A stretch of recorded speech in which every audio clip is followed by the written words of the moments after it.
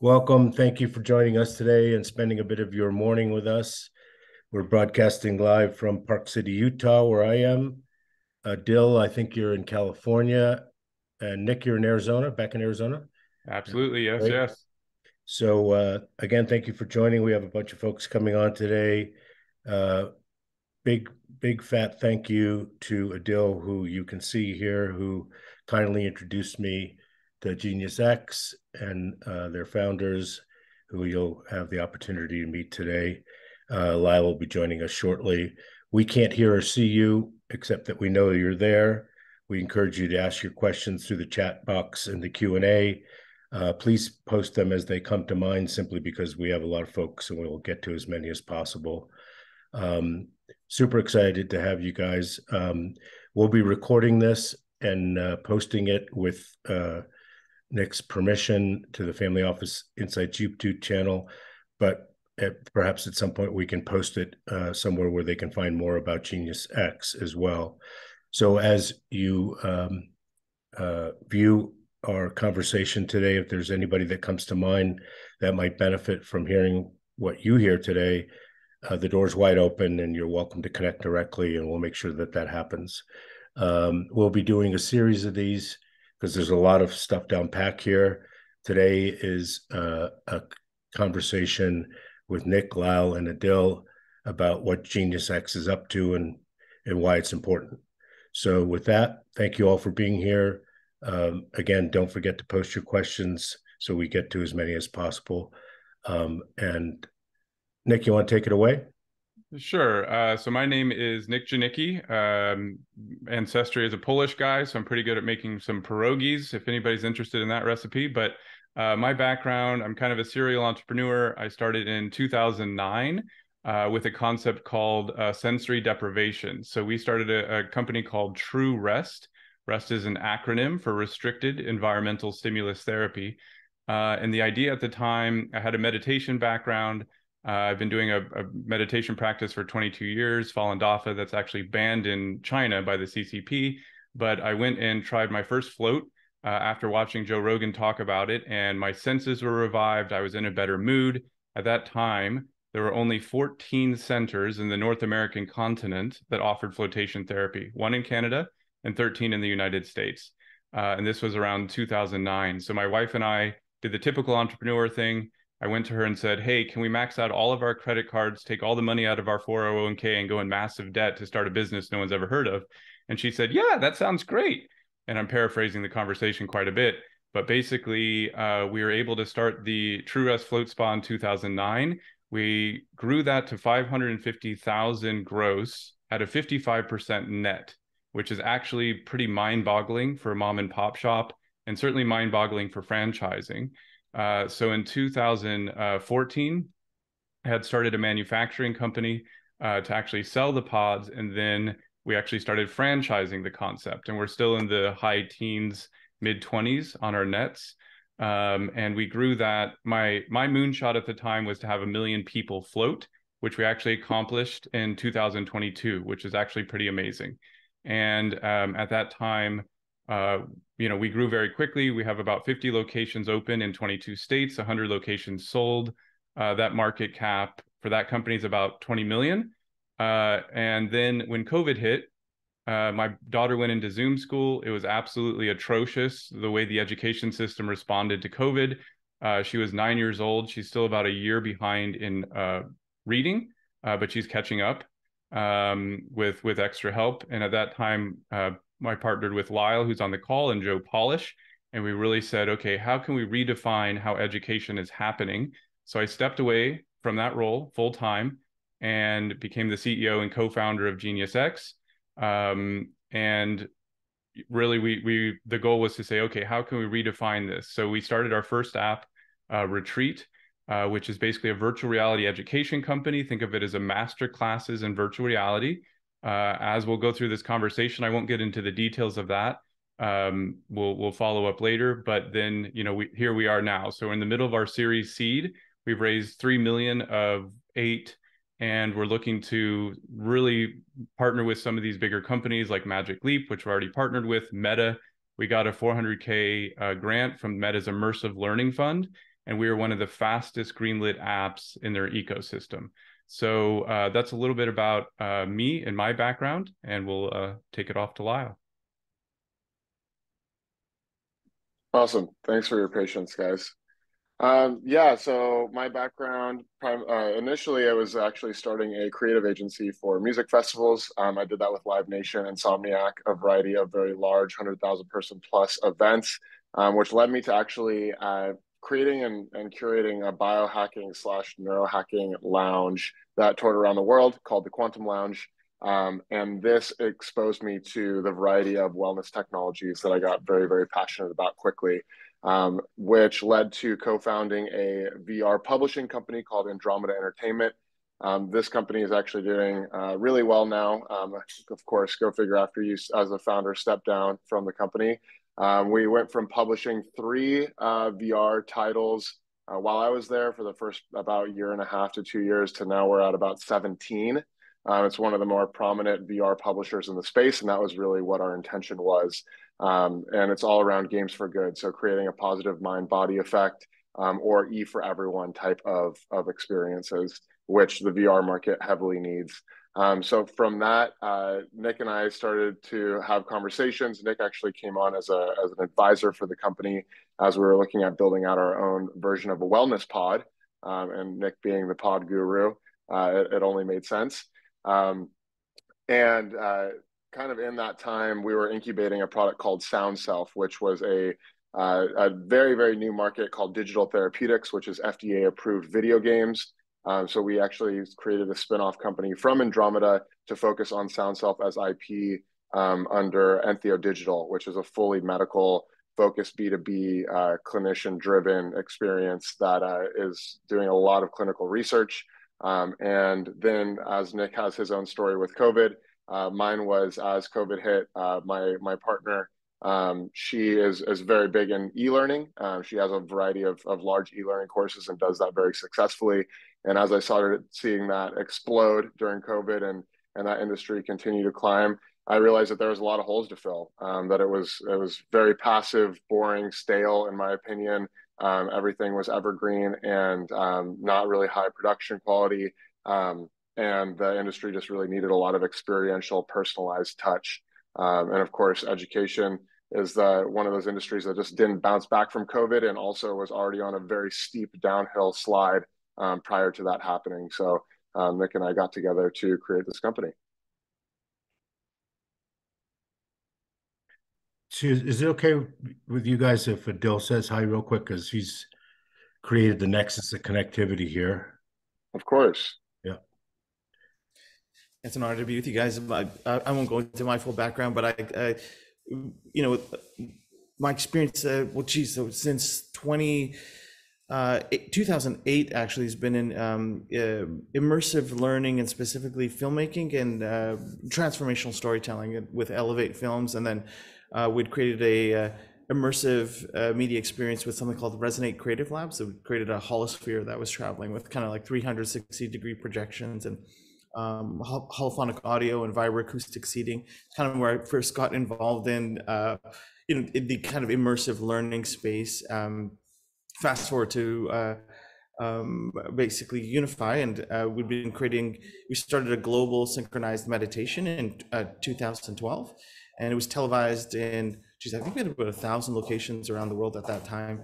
Um, but uh, it, it, was like a TV show we had put together on uh, on December 21st, 2012. I don't know if any of you were there present to that um, experience that was happening all, all over the planet. Um, it's you know generally at sacred sites like uh, Chichen Itza and Palenque and Tikal and um, all through Egypt. So we, all, all, these locations where there's uh, this uh, people are engaged in in a like either putting together a meditation or a transformational event and we just unified them all at the same time um, and produced a tv show with that and, and that we continued with that uh, you know doing that on earth days and peace days and world water days and um, yeah they, we grew to sometimes having over 100 million people uh, join for these global meditations and i think we've done about 117 of them now and um, so big meditation kind of conscious audience and um, immersive learning, especially as it, as it pertains to transformational content, has been very big in our audience. We launched a course called Storyteller, um, and uh, as more as a pilot as a test to see what would happen with the audience. Um, and that was it during COVID, and it went nuts. so, but to you know, our uh, to Lyle's points, it was not. Uh, I mean, it's kind of the marketing was awesome. It, maybe the uh, some of the course material was fun, but you know, you really lose that um, that deep interactivity or the experience of being with a with your fellow students going through an immersive learning experience, sharing insights and understandings. And so, um, as I to understand what Nick and Lyle were creating, I'm like, this is so resonant and aligned um, in so many ways. And given that they'd created already 26 courses, I'm, you know, I thought, geez, we should we should parlay this to our audience. They're going to love it. So I guess that's partly why I'm here. I was all up in Arthur's ear about it because uh, I think these, I think Nick and Lyle are really onto something. And so with that, I'll just, uh, yeah, appreciate appreciate being here. You're muted, Arthur. I see that. Uh, thanks. Uh, just for the record, uh, uh, Adil and I have known each other for quite some time, and what uh, happened is that we were in Egypt and um, uh, Adil uh, got a message from us, shot out from the pyramids, to said he should to say we should um, reconnect with meaning, and then he also should go to Egypt, which is exactly what he did. And also, for the record, I'm going to put it here, recorded that we met in Egypt, maybe you know a thousand years ago. So uh, that that that we pretty are convinced of happening. So um, thank you, Adil. Thanks, thank you for sharing. Uh, so, Nick, you want to sort of start things out with uh, what exactly you're doing with GeniusX? Yeah, absolutely. I think the easiest way to understand it is as um, you know, artificial intelligence is becoming more prominent, as XR is becoming more prominent. Uh, I don't know if people saw the Apple headset release. Um, but what's happening is there's going to be, and there's more competition every day into this kind of immersive landscape. And so what you're seeing is p- potentially a full rewrite of how education works. And this was our mission when we started Lyle and I's going, okay, how do we actually revise this process of, you know, being 17, 18 years old, getting a GED you know what technology can essentially do is enable you to have personalized learning with ai and i'll give you just a broad example so right now in social media um, everything's essentially used to manipulate you for advertising. That's kind of the model.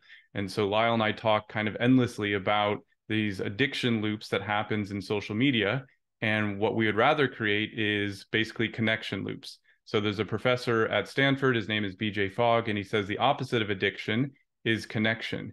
And for us, connection is community, right? And so the idea is can we have a tech company that starts with the moral values, that starts with the intrinsic desire to actually help and facilitate the ascension of intellect and the ascension of character and the ascension of spirit, and embed that into a technological company? Usually, technology progresses for the sake of progress, but we really wanted to have something that's a use case that's proving that this can be helpful for students and teachers simultaneously.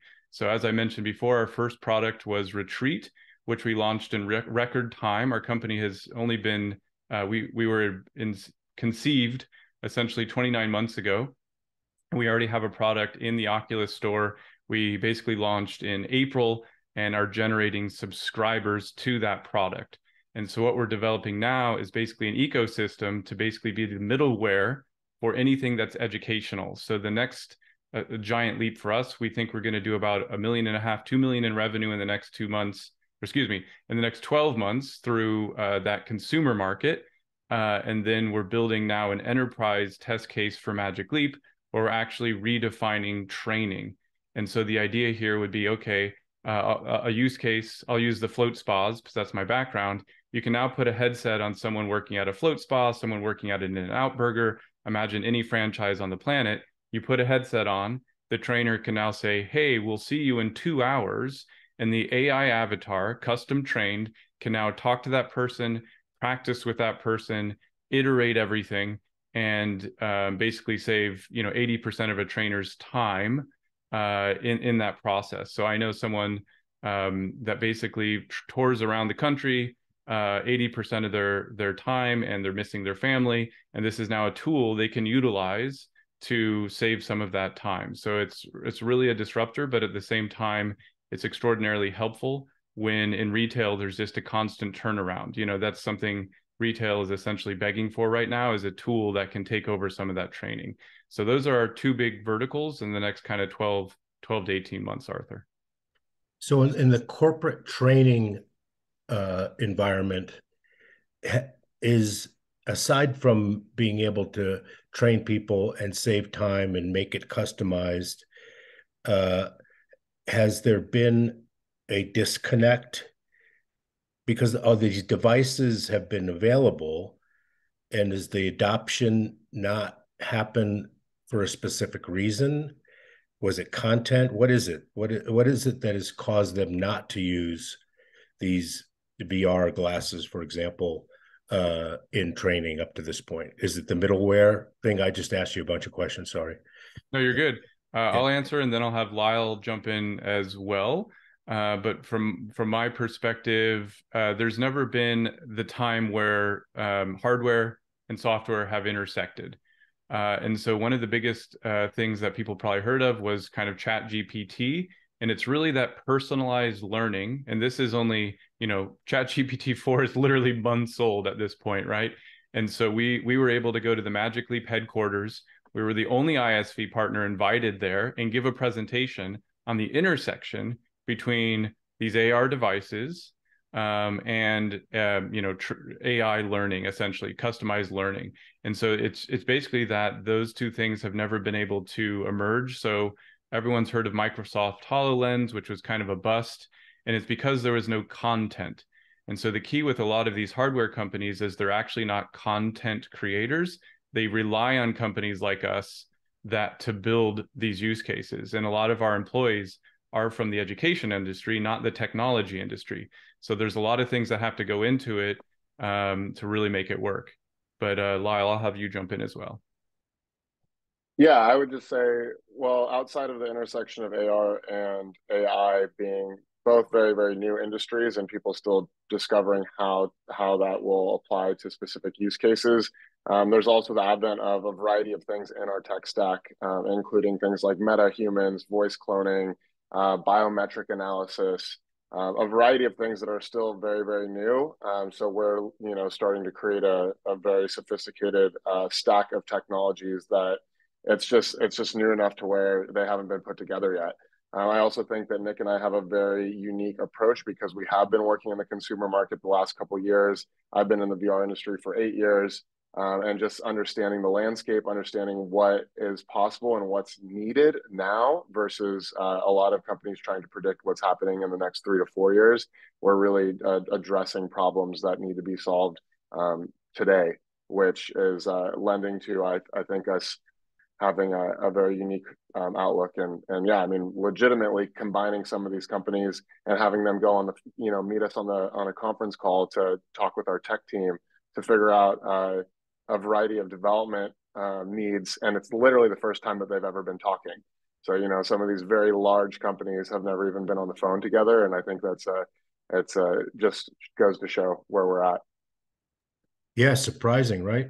So uh you've done um, a number of extraordinary things, but I would argue that one is uh, let's talk about this one first. You know, what caused Meta to give you non-dilutive capital? Like what that that is pretty extraordinary event, right?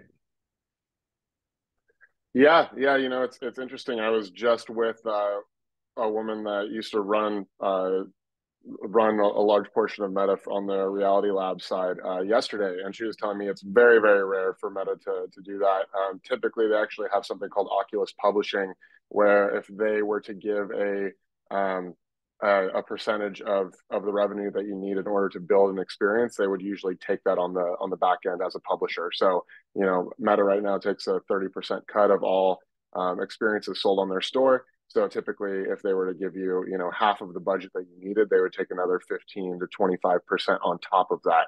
Um, so it is very rare to, to have that happen. I think there's two things. One is that we do have a very new technology that um, is very appealing to companies like Meta and Apple because it expands their demographic. Right now, it's primarily gamers that use headsets, um, anywhere between ages 13 to 20, typically male. Um, but they do have a lot of if you if you watch some of their their VR headset campaigns, a lot of it is focused at you know the middle aged moms uh, that are using it to use as a social app to communicate with each other. Um, they definitely want to expand their audience, and again, they just don't have the use cases to do that. So there's there's that that very big side of it. Um, the other side is that Mark Zuckerberg and his wife Priscilla are uh, specifically very focused on education, and so this immersive learning fund is tied to Meta and Reality Labs, but it's actually Mark Zuckerberg's personal fund. Um, you know, I think I think with anything, if you look at Apple's trajectory over the last 20 years, they were very very good at getting their computers into elementary schools and high schools very early on. And so a lot of these hardware companies see that they need to be deploying and figuring out education early and kind of, you know, embedding this in the zeitgeist as as kids are being raised, for better or worse. But you could find some really interesting use cases of, of schools in China, some of the top performing private high schools in the world, actually in China, that have completely converted to only VR education. Um, so you know, there, it's not just a, a matter of, uh, of business; it's it is uh, you know a very heightened state of learning for people so i mentioned this to you guys before and you probably already know it i don't remember but uh, lex Fridman's podcast he interviewed uh, zuckerberg once before and then just a couple days ago and there was a a lot of discussion around learning and what zuckerberg thought about the vision pro release and he had some really interesting, uh, uh, flattering things to say about the device. And of course, he talked about how it differs and how his device is uh, uh focused on you know just a lower price price point, but it was all around education. How how is that meta non-dilutive capital going to be measured in whether it was successful or not? Do you guys have any feedback on that? And and I'm getting to it not because I want you to demonstrate that you use the money well, but how how would what how they measure success in deploying that capital to you? Yeah, it's a good question. So, um, you know, at the end of the day, the the top executive team is going to look at revenue, right? So, to Lyle's point, uh, Meta still takes thirty percent of everything generated on our platform, and so our goal within the next 12 to 12 months or so is to literally not only have that 400k essentially generated for Meta, but really open up to Lyle's point a new demographic that they didn't previously see. And so uh, I'll give a use case, uh, and it's the reason why we're so excited with the Adil partnership and the Unified partnership is we have the ability to literally reach people that they haven't reached. And so let me give you an example. So there was a Miley Cyrus concert in uh, their their platform called Horizon, and it was literally a pre-recorded video, uh, and there was maybe twelve people there in VR, uh, and so uh, and then when they had their conference uh, last year, same thing. Lyle and I literally tried to go find the Mark Zuckerberg VR conference. We couldn't even find it, right? And again, it was just a pre-recorded video, and we did end up finding it. So what we're basically offering them is, um, you know, really heavy duty influencers that we're working with, where we're going to create a web funnel, a traditional web funnel, generate a live audience on, say, YouTube of tens of thousands, convert that funnel immediately um, into um, revenue um, for us and for Meta, and then have a portion of that audience go into VR. So I think where they're excited, to Lyle's point, is we're we're not in the gaming audience at all. We're literally going to have people buying headsets to use this, and that's exactly what Meta wants. Is they want people buying this for education. They want to extend the demographic, and frankly, Magic Leap is excited for the exact same reason. Magic Leap sells hard hardware. That's it. Uh, they're actually rolling up their sales team for our demo to go sell for us once we le- launch our product. And the key there is essentially same thing. uh, they're excited about selling now headsets to major airlines and selling headsets to major franchising companies where we're the driving force of, of the software. So it seems odd. It was even odd to Lyle and I that these giant tech companies don't necessarily have the content creation in house and they are looking for partners to to accomplish these kinds of things.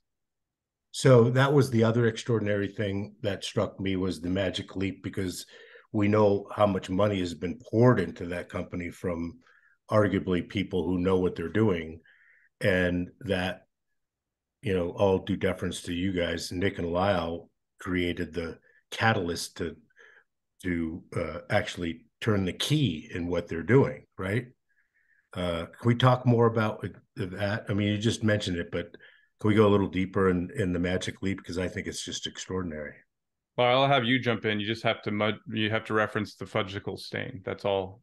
Oh God. oh, great, perfect. Um, yeah, I mean, so yeah, Magic Leap is a very expensive hardware. They are are solely focused on enterprise. Uh, this is the Magic Leap Two, which is is probably the most advanced AR headset that exists. Um, they are uh, primarily their use cases are like construction based or hard skills based. Um, so they have it essentially, you know, we hear a lot like the digital twin when talking about AI. Um, their version of a digital twin is essentially modeling somebody, you know, imagine uh, fixing a, an airplane engine. And so there's literally a hologram of somebody doing it correctly in front of you using the same, uh, you know, model engine. And then you're essentially just mimicking that digital twin in the space. Um, so it's usually very much focused on hard skills um, you know, things that that people are doing with their hands typically, or safety issues. Um, so so we're really focused on the soft skills side, which um, is is very exciting to them because it's universal. So you know, personal professional development, um, things like training that Nick's mentioning, um, a lot of EQ building, which is really the promise of of all immersive technology, is the emotional, empathy, engaging side of things. So um, yes, the the hard skills are great um, and have a lot of applications in the space, but there's just not a lot of companies thinking about the uh, emotional side. Um, and again, with us creating a social uh, VR platform, emotion is at the front and center of what we do. Um, yeah, I mean, our relationship started with them about a year and a half ago. We met them at Abundance 360, which is Peter Diamandis' event, um, and immediately started talking about applications um, I guess I can uh, mention that. Uh, so yeah, we did. We went through the course of developing everything in VR, um, and then as we went to be their ISV partner um, at their Magic Leap headquarters for their offsite, um, Nick was wearing a shirt from the from the night before when we arrived, and uh, and no one else noticed. But I, I questioned him about a stain uh, after the presentation, and he let me know that he was uh, eating a fudgsicle in bed with his wife the night before and somehow it had dripped onto his shirt. And I think it actually, uh, I would never mention that without him prompting me, but I think it did help a little bit because most people, I think, are excited to find out that uh, some of the founders are, are potentially on the spectrum or so mad scientist genius that they don't even understand their appearance during a presentation. Um, so yeah, or, I mean, or walk of shame, didn't care, right? yeah, exactly, exactly. So um, again, it's same, very similar to the relationship with Meta. We are are building use cases they've never seen before. So it's not only the expansion of their client base, but it's also the expansion of their technology and what's possible. Um, you know, even with Meta, there's things like live streaming. Uh, we're we're looking at being the first kind of Ticketmaster ticketing platform because they still don't have the ability to just purchase tickets directly um, from the headset. Very simple tools that um, we find a lot of use and need for that we're working directly with companies like Meta and Magic Leap to actually build out because it's the first time that they've even either thought about it or found a reason to build it. Um, so you know that's the the excitement that we get from these these bigger companies. Is there any uh, pushback, conflict, undertone with you providing service, content, middleware to all the constituents, Meta, Apple, Magic Leap? Is there any is there any feeling that that somebody wanted exclusivity to your tech? No, uh, that's not at all, which is quite interesting. I think uh, when we started the company, we made sure it was platform agnostic. simply meaning that any content we create can go on to any hardware. And I think that's, um, you know, oddly enough, to your point, Arthur, uh, I think Mark Zuckerberg's big thing about the Apple headset was in his mind, the metaverse is a social experience. And Apple's headset was a little bit uh, lonely. It was always just someone uh, using it. And Apple used the word spatial computer and spatial computing right? Uh, where where metaverse or Meta is really focusing on sort of the social aspect of the metaverse. Um, and so I think that's really the be the big key differentiator between those two companies' visions uh, overall. Yeah, the um, let's talk about the Vision Pro. What, what do you what do you guys think of it? Is there a is it going to legitimize the market? Did they come in at the right time? Is the price an issue? Does it really matter? Lyle and I both had tears in our eyes uh, during the Meta or the uh, Vision Pro uh, announcement. And the reason is it's sort of the promise of what spatial computing can be. And so the way I always put this is I believe XR or extended reality, augmented virtual, is one of the more human ways to interact with technology. So right now we're looking at 2D screens and it's not immersive at all. And so the, the benefit of being a human being is we have audio, visual, and kinesthetic prompts.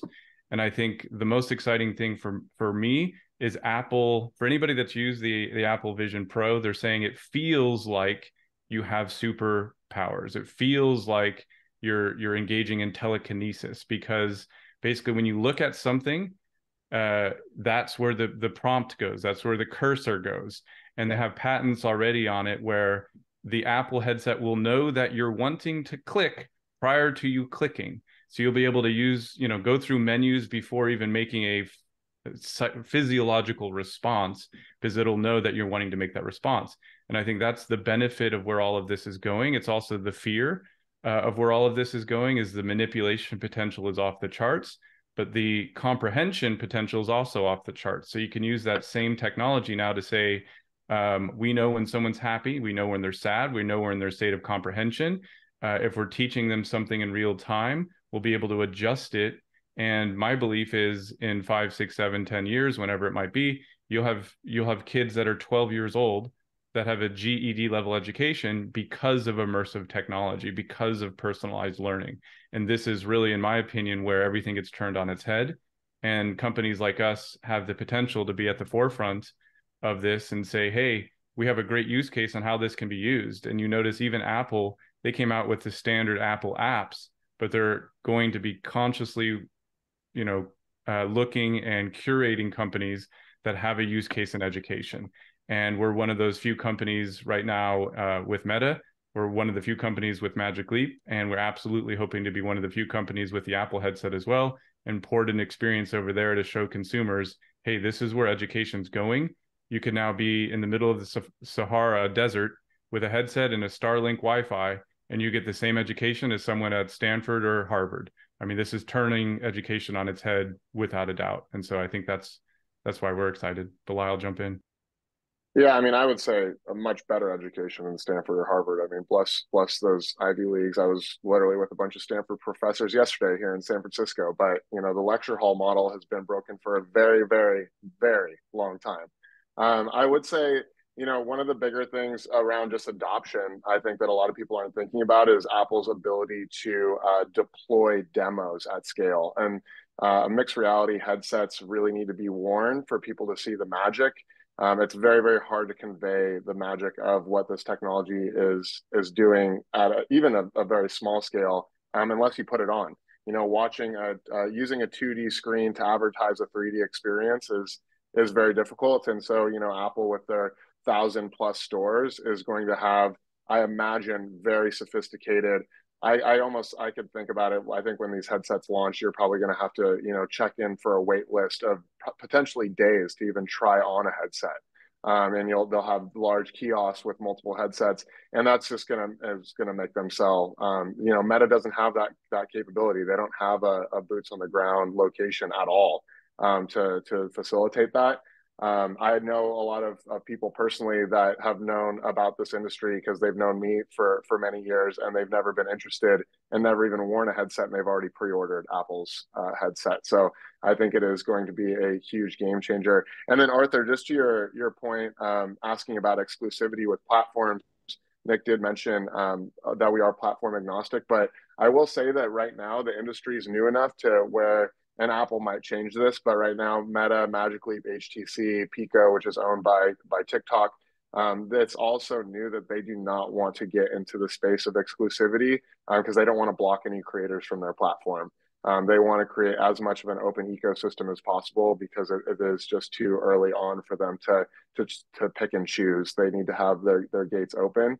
Um, a part of what we're fundraising for is actually to be able to port to these other headsets. So um, you know, Magic Leap and and uh, Meta are things that we're we're on and working on now. But there is outside of Apple, um, Pico is is the largest um, headset um, side by side next to Meta, um, and it is a large Chinese company. But they also have hu- a huge division in Europe, and they just expanded to the U.S. And again, it's it's very interesting that it's TikTok owned. So the two biggest headsets are the two biggest social media platforms, just to show you kind of where the technology is now. and that? yeah and of course it will be going into gaming and will be you know sony also um, sony playstation vr 2 just came out. They're also a very big player but they're really the only game company that's in the space right now and, and that's going to change very quickly. Um, there's probably another five to ten large vr headset or ar headset companies in asia um, that we have deep connections with because my my the publishing company that i founded andromeda that's actually really the specialty of the company is to take uh, American or uh, European based content and help them port and distribute to Asia. So we have a lot of deep connections there, but it's just a matter of of having the funds to be able to um, you know port these these um, our software into these other pieces of hardware. Um, so just wanted to mention that yes, we're talking about the big companies, but Asia has been hot on uh, VR AR technology long before the US, and they do have some very well established companies like iQiyi, um, which is you know kind of the Netflix of China, um, as well as a few others, um, Huawei, um, other very large companies that have their own hardware. Is is Microsoft conspicuously absent in the hardware VR headset? Uh, they are now. Uh, they they were too early, uh, and so this was those. You know, they were about seven years early. Uh, if you're seven years early, you're you're you're too early. You know, if you're two years early, you're a genius. Um, so right now, Meta, or excuse me, Microsoft is fully invested in the AI side. So they were the primary investor uh, uh, of OpenAI. Yeah. And um, what's fascinating, though, Bill Gates said the the biggest industry and the first industry to be disrupted, he believes, by all of this, is education. Yeah. So um, we got a bunch of questions, but let's take one. What are some, if any, of the use cases GeniusX is contemplating in sports and athletics? Yeah, I mean, I could I could answer that. I mean, being that so it's really important for people to know that we are a custom development studio, which is, you know, we kind of have we're we're that's two sides of the coin. We do have the publishing and the distribution uh, side of things, and and really the the creation. But the custom development means that we're able to build, you know, on the enterprise side, we're able to build use cases specifically for companies. Um, actually, it's the the big thing that we've we've around sports that I'm just thinking of is that we've started to get uh, connected to the Players Association of the NFL. Um, and we also created a full demo for the Colts where we actually built out the entirety of the Colts stadium in VR. Um, and they went into the, their season. We started talking to them on their off season. Uh, this is probably a, a, really great time for us to, to rekindle that. But we did have a lot of interest from athletic clubs like the NFL, uh, specifically around not only like the very um, you know practical side of injury recovery, uh, maintenance, um, those types of things that that specifically athletes need. But then on the flip side, very much uh, things that you may not think about, like um, financial literacy um, and and how to manage their money properly. Um, things like breath work and how to calm down in between plays. Um, so there was, we have a, a, catalog of experiences that were really enticing for them, and essentially the site license. Again, it comes down to funding to actually have a sales team to be able to deploy some of these things. But we did have enough interest from the the GM of the Colts to actually want to build out a demo for them uh, before they went into their season last year. So again, as a custom development studio, um, we are capable of bringing in um, influential athletes into our consumer platform as well, um, and look at how that how that works. You know, whether it's um, you know building out specific mechanics that that represent uh, sports training, or if it's a matter of uh, you know example like the NFL where it's actually being deployed to athletes where they're teaching uh, where we're teaching them skills from other coaches that uh, you know would would help them in their career. So, so we can get into uh, it directly from people who are interested. You can speak to them offline, but can we talk a little bit about use of funds presently? I know you mentioned being able to connect with all the devices. What else would you be doing with this raise? Yeah, use of funds is a big one. So uh, uh, our whole seed round, or our series seed, and so I can kind of get into the specifics of where we started there. But we started with a Series Seed one, which was a $500,000 raise, which essentially got some of the baseline infrastructure completed. We were able to do our hiring rounds. Uh, we then did a Series Seed two, which was 1.26 million at a 20 million market cap. So we doubled the market cap uh, within a very short period of time, eight months, which was um, there's a lot of competitors that are way ahead of us with even less revenue we were actually able to sell courses. So we actually sold courses to course creators for 35 to 50,000. So last year we had about a 350,000 uh, in revenue prior to even launching the product. And then we got the $400,000 grant from Meta, uh, which is rather unheard of for a tech company to generate any revenue in its first uh, 18 months. Uh, and that was our Series Seed 2. So that was 1.26 million again at a 20 million market cap. We then doubled it again. So we're at a 40 million market cap. Um, and we've gotten in another 1.26 uh, as part of that. And um, essentially, uh, we're, we're looking to raise eight. And so what we realized it took about two and a half, three million to create this platform, create demos. We're now at a point that, to Lyle's point, we need a port to Apple, we need a port to Magic Leap. We're creating a pilot program for Magic Leap, and we really need to scale our engineering team uh, and really start having a, a marketing funnel. So that's where a deal comes in is going, okay, now how do we utilize what we've built and actually start generating revenue and marketing to actually sell these courses? So we got everything to the point of launched. And now the primary uh, funds are basically um, that gives us about three, three and a half years of burn to really go, okay, let's get into a profitability cycle now. Uh, at that point, we'll decide if we want to do a series A um, and our goal is to reach a, a, market cap of about 200 billion within the next 18 to 24 months, um, and and kind of kind of go from there. Only to the only to the extent that you can talk about it. What does Magic Leap's agreement do for you in terms of revenue? Magic Leap could represent upwards of 60% plus. Um, Lyle will say even potentially 80% plus of our revenue. Um, we might be very much underselling the Magic Leap partnership. Uh, and I think the key here is to really understand that once we have a pilot done, Magic Leap will be using their own salespeople to directly sell our product. And so uh, if you amortize some of this, so Magic Leap has said Hawaiian Airlines, as an example, or uh, one of the big investors of Magic Leap, which actually took over majority control, was the UAE, and they invested uh, 500 million plus. Magic Leap has raised 3.5 billion in the last few years to really facilitate this. Um, and basically, these pilots are anywhere from uh, 150 to 200,000 for these companies.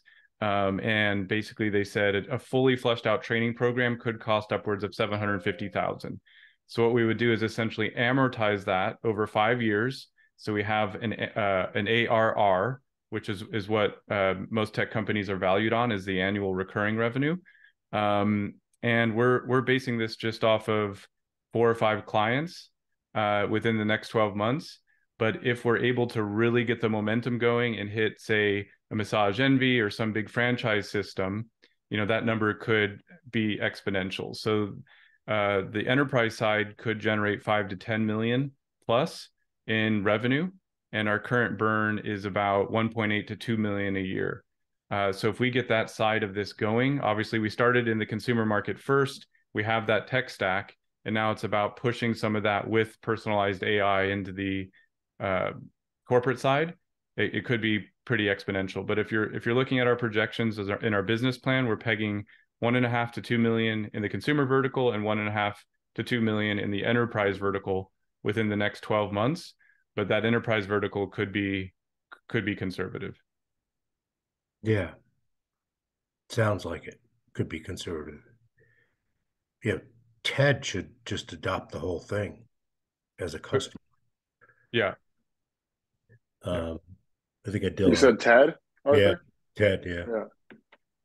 Absolutely. Uh, so super interesting. All right, we're running up against time here, but this has been super helpful. We're going to do it again. Would you guys mind doing this again soon? Of course, we'll yeah. be uh, free of stains and any bad jokes, and we're ready to go. Let's do it. Yeah, yeah, we like bad jokes and stains, so it's totally cool. Uh, Dill, good to see you, man. I miss you. Um, the uh, uh, uh, recording of this like I said, if we can post it wherever on your website, it'd be better. So we drive people to you, and then we'll make sure everybody who's on the uh, RSVP gets in touch, and then we'll schedule another one.